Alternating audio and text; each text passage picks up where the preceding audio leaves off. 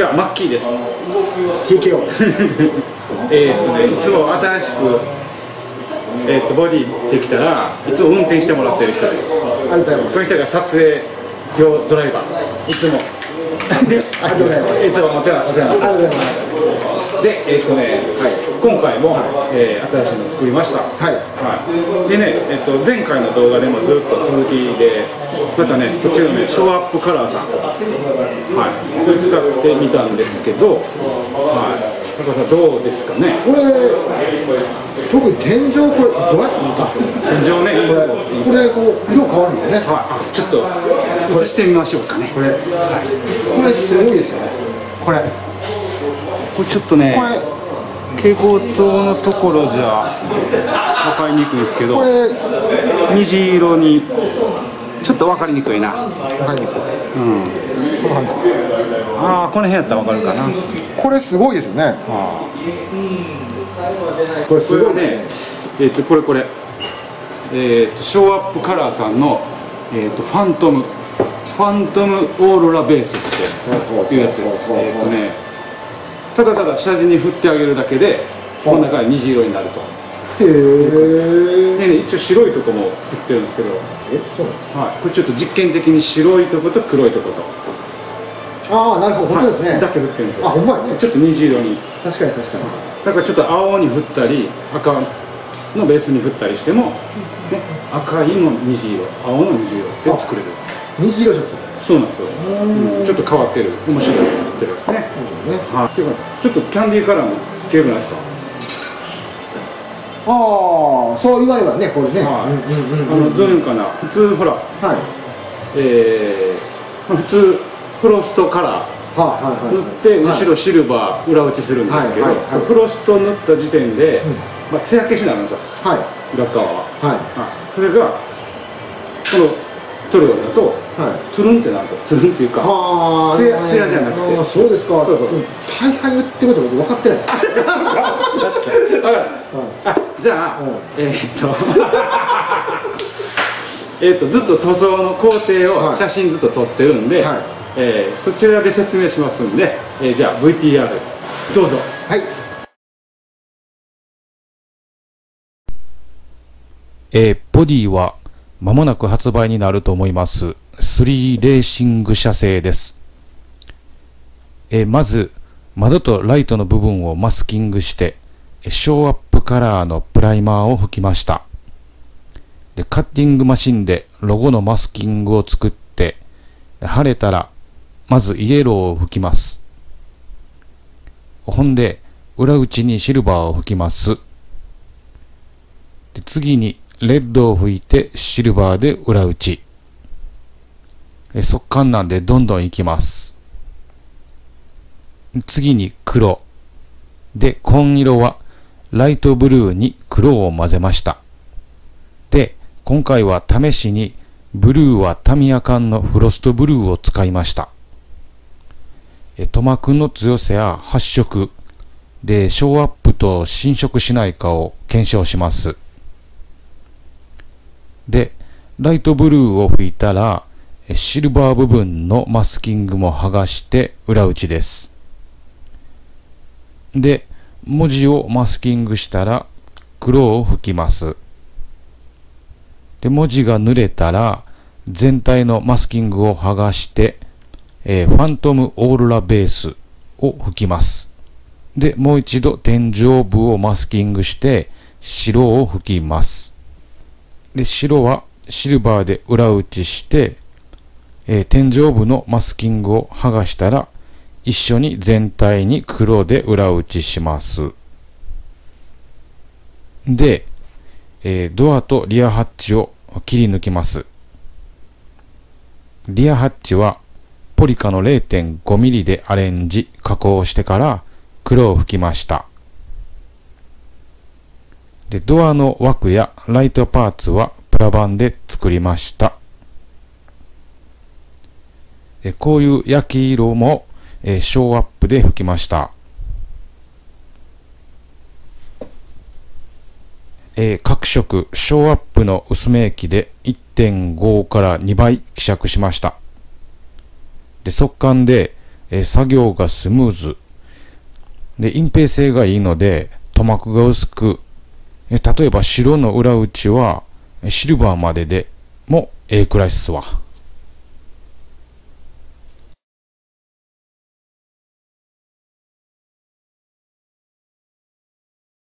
はい。えっとねそしたらね、電飾とかいろいろやってるんで一回電源入れてみましょう。はい。じゃあ。こちら 7px 電源オン。来ました？来ましたよ。はい。今 NS になってるから、モデルモデル。メニュー、はい、こっち。はい、モデルメニューで、はい、セレクト。でねいっちゃん上のレッドブルにやってはい。レッドブル？うわ、はい。なんすかこれ？これね画面変えれるんですよ。かかっこいいじゃないですか何かこれいいですね。はい。はい。はじゃあいつものようにエンジン音からいくんで、はい。でここを開けてみましょうか。はい。こういう感じですか？はい。でここスイッチになってるんで。えどこですか？これこれ。これそうそうそうこれ？これ、はい。これ、これですか？はい。へいはい来ました。大丈夫？はい。爆発しない？大丈夫。大丈夫？はい。ははい。じゃあまあ閉めてもらって。はい。いつものようにじゃあエンジンスタートしてみましょうか。どんな感じかな？ますよ。はい。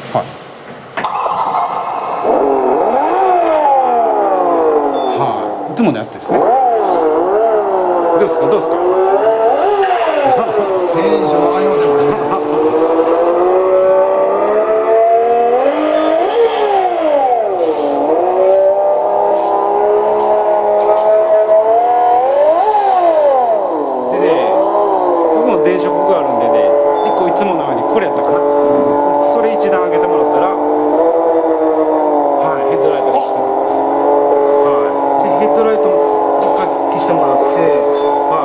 ヘッドライトと連動して室内灯のはいなんか今回は青い室内灯にしてみました。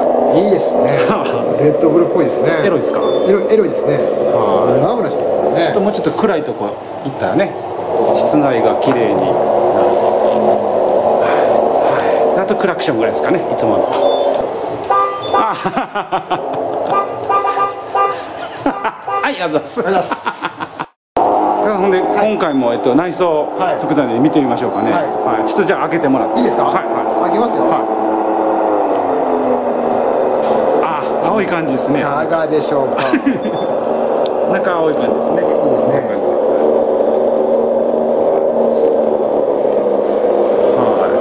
いですね。ちょっとまたこの辺はね制作動画、ね。はい。まあそのうちやりたいと思うんでこれ。いいえいえ。これねこれほらほらほらジュースの。ほらキャップ？これポルタブあるじゃないですはいはいはい おしゃれですねこれ。おしゃれですね。これいいですね。はこういうところに気がつくのがまたすごいですよね。この辺もえっとね。これこれどうしてるんですかこれ？これも同じ。このはああそう。いショーアップさんの。このスミッツで今回やっぱちょっとだからテスト的なとこがあったんで、はえっと、赤青黄いはいで白黒って使いたかったんで、はい。でこのデザインになったんですね。はい。ちょっとねこの辺は加工してるんですけどね。ガラス。だんだんなってますねこれね。あの裏感はないんですけどね。どっかどっかの会社からねオプションでこういうのがあるんでちょっと作ってみようと思って。はい普通あ実際のわけはい製品はこうのっぺりしてるんですけどね。のっぺりねはい。段差にしてみましたと。そういうことですね。はい。はいでね今回ね、便利やったんが、えっとねこのねプライマー。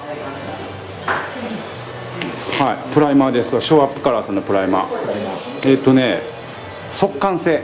ほんまに説明速乾性って説明されてたんですけど、うん、ほんまに普通にエアブラシで拭けるんですけど、こうはい。こう拭いた瞬間乾くから、はい、作業がめちゃ楽ゴミ専用速はい。乾プライマーって書いてあるねとにかくめちゃ楽。で何がいいかっていうとまあ最初に窓とかこういうとこ以外ねマスキングして、ままあ、全部プライマー拭くんですけど、はい。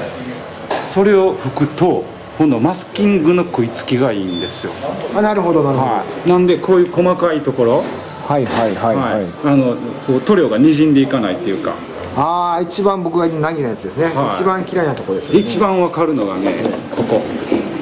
このレッドブルの前のこの前足のこれこの1ミリあるかないかどうかの。そう言われるここ。すごいな これ。これこれが塗れるっていうね。で塗料自体も黄身が細かいんではい。多分そのあのどういうかな。塗膜がめっちゃ薄くできるからこんなことができるんですよねそんなことそう言われるとこれすごいですねこれ、はい。てこの点ってはい。爪楊枝ぐらいですよ本当これ。普通にマスキングしたらこれ剥がす時にこの点ついてくるからね。ああでそのプライマーと、はい、この塗料でそんな細かい作業もいけるっていう。すごいなこれ。はい、はい、めっちゃおすすめですこれ、はい、でもはい。あのタミヤ缶の下地とかもいけると思いますけど。ー。ちょっとタミヤ缶はねあの粘度が高いっていうかちょっとこういうところにはねしんどいかもしれないですけど。なるほどなるほど。めっちゃいいっすよほんまに。だから細かいこともできるし。確かにすごいですねこれね。はこのこれはびっくりしましたでも正直。いそうそうそう。うん、この点。うんいろいろね。うん、はまあ、絶対僕やったら牛ならへんけどねなんかわからないいよっしゃ。ほんだらタコさん、はい。えー走行動画撮りに行きましょうか。行きましょうか。はい、じゃあ今回もよろしくお願いします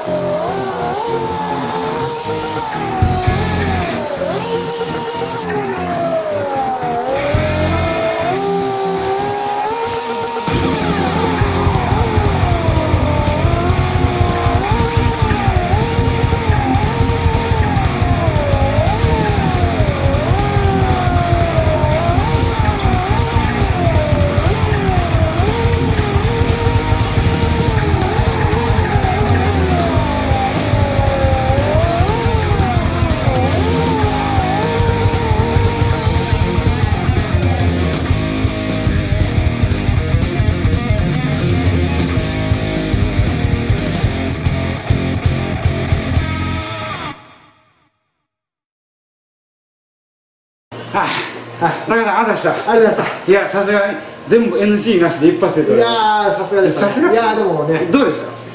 すごいですねこの車。めっちゃ走りますね。走ってます走ってますちょっとねやっぱ軽くなったんでだんだん。あそうですか？前のうんす。ごいですよ。